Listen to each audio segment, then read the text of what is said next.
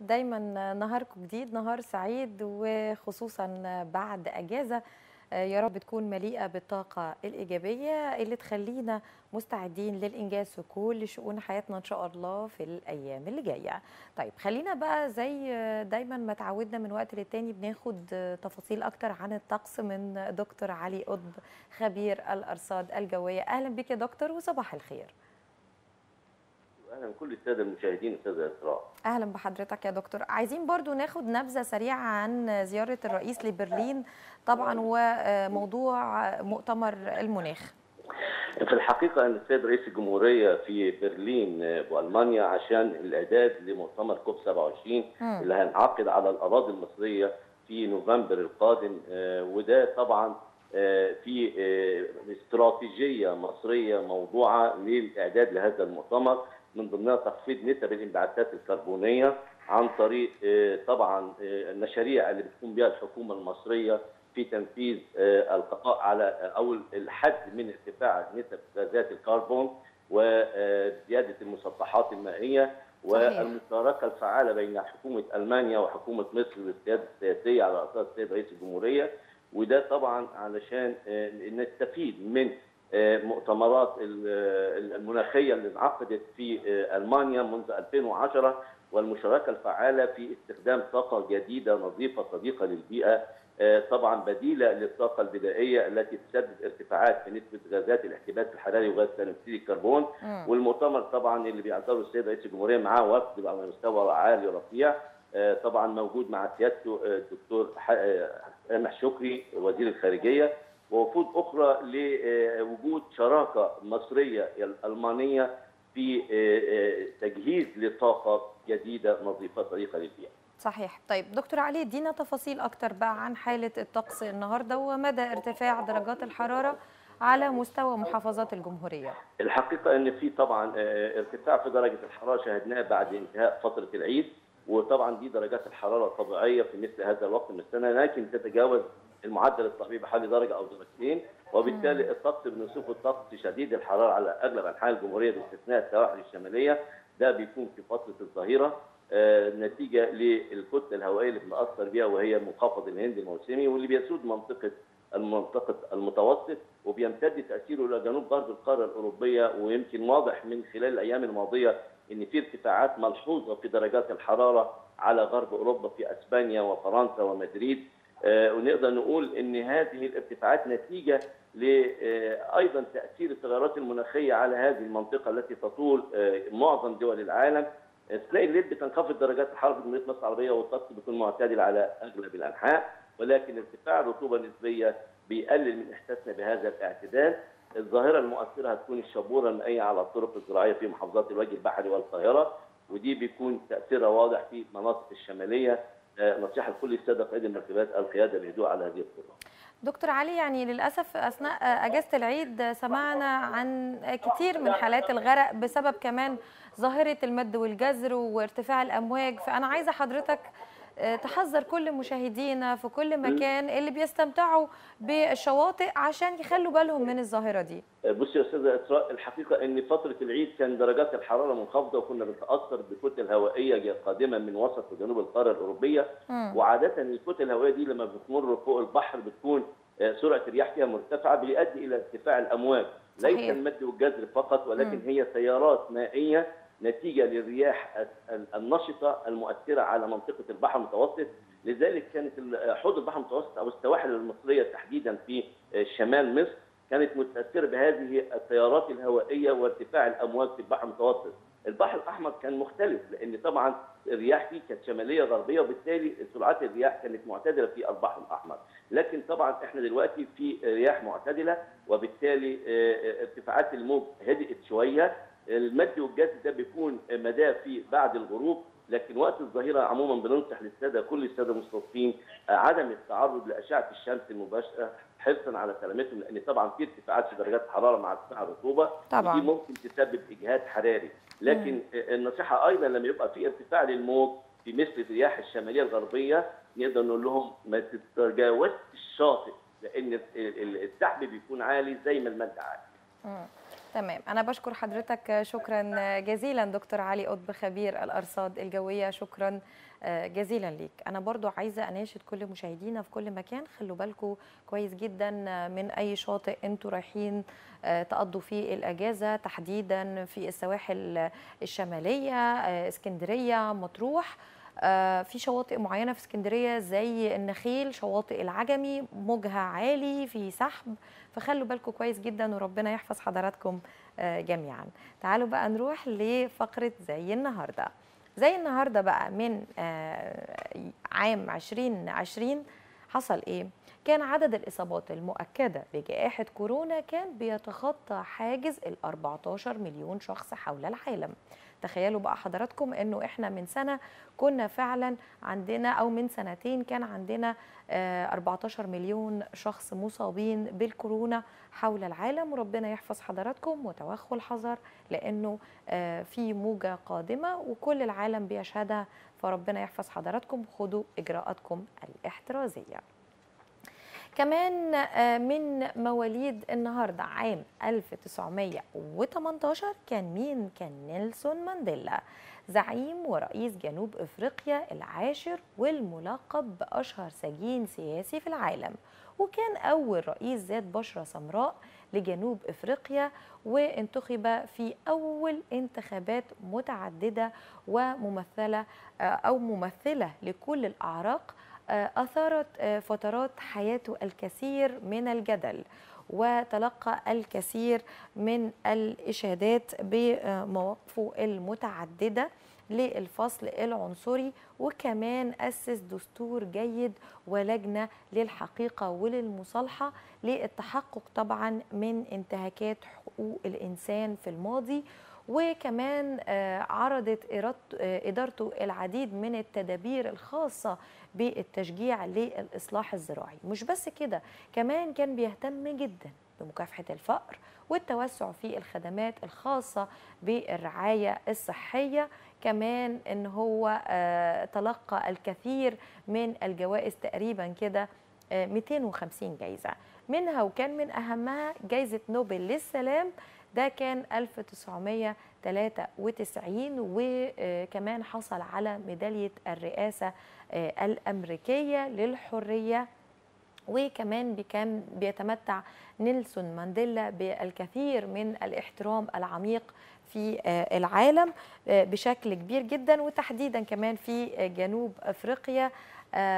وكانت كل الناس بتشهد بيه وتحديدا كمان عشيرته وكان في كتير جدا من الأحيان بيوصفوه أنه هو أو بيلقب بأبو الأمة. طبعا أكيد حضراتكم عارفين نيلسون مانديلا. النهارده كان تاريخ ميلاده وهو شخصية فعلا ملهمة لكتير من الناس. تعالوا بقى نروح لأخبارنا النهارده وأول خبر عن الحكومة. بتقول لك إنه ضم أكثر من 450 ألف أسرة ليه لبرنامج تكافل وكرامة خلال 2023 و 2022 وده طبعا كان في ضوء توجيهات القيادة السياسية لتوفير الحماية الاجتماعية اللي بتستهدفه طبعا الحكومة من خلال العام المالي الجديد. قالت لك إنه طبعا تم ضم أكثر من 450 ألف أسرة لبرنامج تكافل وكرامة. وده طبعا دعما لفئات الفئات الأولى بالرعاية حسب ما أكد طبعا البيان المالي المقدم من وزير المالية الدكتور محمد معيط لمجلس النواب. برئاسة المستشار الدكتور حنفي جبالي. وفيما يخص برنامج تكافل وكرامة بيوضح البيان المالي أنه بيستهدف الأسر التي تعاني من الفقر الشديد وكمان بتحتاج إلى دعم نقدي وخدمي على أن يكون لديها أطفال في الفئة العمرية حتى 18 سنة. أما برنامج كرامة فبيستهدف بيستهدف الفئات التي تعاني من الفقر الشديد ولا تستطيع أن تعمل أو تنجز أو حتى تنتج وبتكون غير قادرة على الكسب. زي مين؟ زي كبار السن. من سن 65 سنة فأكثر وما لديهم عجز كلي أو إعاقة بتمنعهم عن العمل. ده كان أول خبر معانا. هنروح للصحة. مستشار وزير الصحة بيقول لك إنه في 49 مليون مواطن حصلوا على الجرعة الأولى من لقاح كورونا. وده الكلام اللي اكد عليه المستشار اسيم صلاح مستشار وزير الصحة لتكنولوجيا المعلومات قال إنه الأعداد في الإصابات بكورونا ليست مثل الأعداد في الموجات السابقة وإنه المصابين لا يحتاجون للدخول إلى المستشفيات لأن شدة الإصابة الحمد لله أقل. وأضاف أيضا إنه حتى اليوم تم حصول 49 مليون شخص على الجرعة الأولى و35 مليون شخص حصلوا على الجرعة الثانية وأكثر من 6 ملايين حصلوا على الجرعة الثالثة ودي الجرعة التنشيطية. ووصلنا طبعا إلى رقم جديد أو رقم جيد جدا في الحصول على اللقاحات. وجميع اللقاحات متوفرة في مصر وكمان لدينا منظومة لتحديد الأولوية للحصول على اللقاحات. هنروح لشؤون البيئة اللي بتعلن عن الانتهاء من كافة التجهيزات لمؤتمر المناخ خلال أكتوبر. وده الكلام اللي قاله الدكتور علي أبو سنة رئيس جهاز شؤون البيئة. قال وأكد أن رئيس الوزراء بيتابع عن كثب وبشكل دوري بيتابع التطورات والتحضيرات الخاصة بمؤتمر المناخ. وأضاف أنه طبعا إحنا بنسير على الخطة التنفيذية وبيتم متابعتها أسبوعيا مع كل الجهات المعنية بالدولة. وده طبعا في أول أكتوبر أو في منتصفه على الأكثر سوف ننتهي من التجهيزات الخاصة بمؤتمر المناخ وسيكون قبل بدء المؤتمر بفترة كافية. وتابع أيضا أن المؤتمر بيؤكد على وجود مصر على الساحة الدولية وأن هناك قضايا مهمة خاصة جدا بالدول الأفريقية والتركيز عليها طبعا أكثر على المنح من القروض يلا نروح للقطن ولكفر الشيخ. كفر الشيخ الأولى في زراعة القطن على مستوى الجمهورية ب 107 ألف فدان.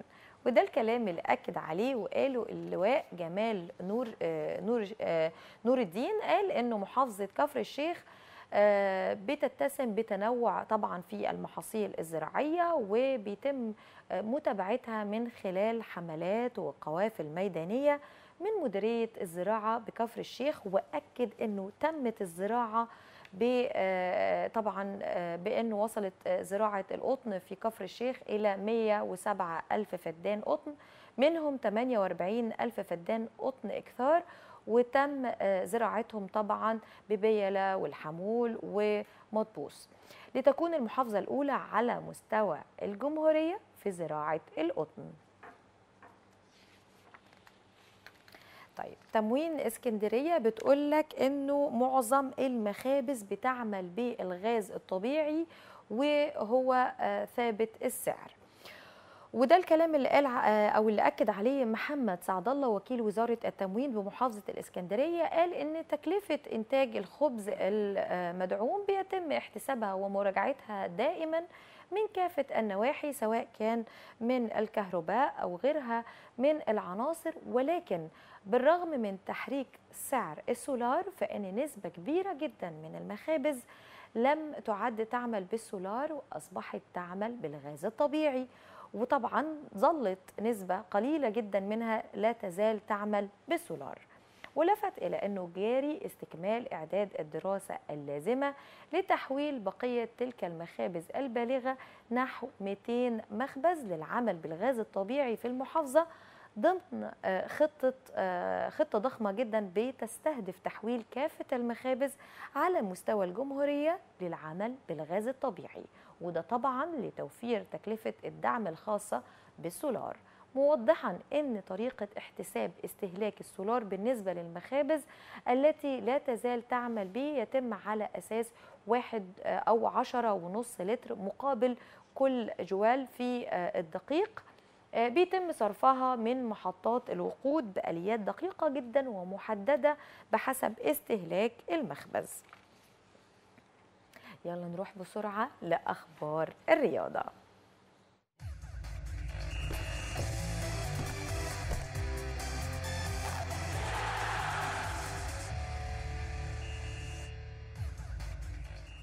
وأول خبر في جولتنا الرياضية ثلاث مباريات اليوم في الدوري المصري الممتاز. بتقام اليوم الاثنين ثلاث مباريات مباريات نارية في ختام منافسات الأسبوع الخامس والعشرين من بطولة الدوري المصري الممتاز. حيث يلتقي مصر المقصة مع إنبي وفاركو مع إيسترن كومباني في السادسة والنصف مساء. وكمان الاتحاد السكندري هيلتقي مع المصري البورسعيدي في التاسعة مساءً. هنروح للخبر اللي جاي وهو عن الأهلي بيكلف أمين الصندوق بحضور حفل الكاف بالمغرب. وده الكلام اللي فعلا قرره مجلس إدارة النادي الأهلي برئاسة محمود الخطيب بتكليف المهندس خالد مرتجى أمين الصندوق. كلفه بالسفر للمغرب وتمثيل الأهلي في حفل الاتحاد الأوروبي لكرة القدم اللي محدد له إن شاء الله 21 يوليو الجاري. وكان الاتحاد الأفريقي قد أعلن عن القائمة النهائية للمرشحين لجوائز الكاف للأفضل في 2022 وينافس الأهلي على لقب أفضل نادي. فيتوريا بيؤكد وصوله القاهرة غدا وده ليه لقيادة المنتخب. بيصل البرتغالي المدير الفني الجديد للمنتخب الوطني الأول إلى القاهرة غدا الثلاثاء وده طبعا لبداية مهمته رسميا مع الفراعنة. وده خلفا لكيروش. وده الكلام اللي أعلن عنه الاتحاد المصري لكرة القدم أعلن عن تعاقده مع المدير الفني السابق البرتغالي وطبعا النصر السعودي لقيادة المنتخب المصري الأول لأربع سنوات مقبلة. يلا نروح لجولتنا العالمية وأخبارنا العالمية. خلينا ناخد كمان تفاصيل أكتر عن الأخبار العالمية واللي أول خبر معانا فيها بيتكلم عن مخلفات ذبائح الأضاحي هدر مادي وتلوث بيئي في الخرطوم. وطبعا فور انقضاء عيد الأضحى وجدت العاصمة السودانية الخرطوم نفسها أمام تحدي بيئي كبير بسبب انتشار مخلفات الذبائح وجلود الأضاحي في أحياء من ضمنها طبعا أم درمام في الخرطوم والخرطوم البحري. وطبعا بيتفاقم الوضع الصحي في العاصمة بالتوازن أو بالتزامن مع موسم الخريف والأمطار وحذر المجلس الأعلى للبيئة في الولاية من أنه مخلفات الذبائح المنتشرة على قارعة الطرق وفي مكبات النفايات بتزيد جدا من عوامل التلوث مع ارتفاع درجات الحرارة والرطوبة مما يسرع من توالد الذباب وطبعا انتقال الأمراض وطبعا الأمين العام للمجلس الأعلى للبيئة في ولاية الخرطوم أوضح إن الوضع البيئي المتدهور المتماثل في هذا الوضع إلى طبعا وجود حملات لجمع الجلود التي كانت منتشرة في العاصمة. وطبعا ده شيء مهم جدا للقضاء على ارتفاع نسبة التلوث بسبب هذه المشكلة. خلينا نروح للخبر اللي جاي وهو عن اندلاع سلسلة متتالية من حرائق الغابات في فرنسا. اندلعت الأيام الماضية حرائق في الغابات في جنوب غرب فرنسا حيث التهمت النيران نحو 100 كيلومتر مربع في مناطق كثيرة جدا مع ارتفاعات ل 73 كيلو متر مربع وقالت السلطات في بعض الأقاليم في بيان لها أنه تم إجلاء أكثر من 12200 شخص من المناطق المتدهورة أو المتضررة فيما حاول أكثر من ألف شخص طبعا من رجال الإطفاء في السيطرة على الحرائق. وطبعا نظرا لظروف الظروف الجوية ومخاطر اندلاع الحرائق منعت السلطات مؤقتا الوصول إلى منطقة الغابات بغرض ممارسة الأنشطة المهنية والترفيهية ويذكر أنه طبعا قد اندلعت سلسلة من حرائق الغابات في فرنسا خلال الأسابيع القليلة الماضية وكذلك في دول أوروبا مثل البرتغال وأسبانيا مع ارتفاع درجات الحرارة. يعني نتمنى السلامة للجميع وزي ما حضراتكم شايفين إنه فعلا التغيرات المناخية بتأثر بشكل كبير جدا على كل أنحاء العالم وارتفاع درجات الحرارة بيؤدي إلى الحرائق. طيب خلينا بقى آه كمان نشوف تفاصيل كتير عن آه أخبارنا النهارده. زي ما زي ما شفنا ووضحنا آه مع حضراتكم. في كمان معانا خبر إنه واشنطن بتقول لك إنه لا قيود على بيع معدات زراعية إلى موسكو وده الكلام اللي أكدت عليه الولايات المتحدة إنها لن تعلن عن عن حظر بيع معدات زراعية لروسيا. ونفت مجددا تأكيدات موسكو أن العقوبات الغربية وليس لها أزمة طبعا بالعلاقة بأوكرانيا وهي سبب الأزمة الغذائية العالمية. وقالت وزارة الخزانة الأمريكية في وثيقة رسمية بشأن الإعفاءات من العقوبات أنه لن توقف الصفقات الأمريكية المتعلقة بإنتاج أو بيع أو نقل معدات زراعية. طيب دي كانت جولتنا العالمية في أخبارنا النهاردة. خلينا بقى نروح لأخبارنا أو تفاصيل أكتر عن الفقرات الحوارية اللي هتكون معانا النهاردة. هنتكلم مع حضراتكم في فقرة مهمة جدا عن صحة النباتات وإزاي نعتني بيها وكمان تأثيرها أو تأثرها بالتغيرات المناخية.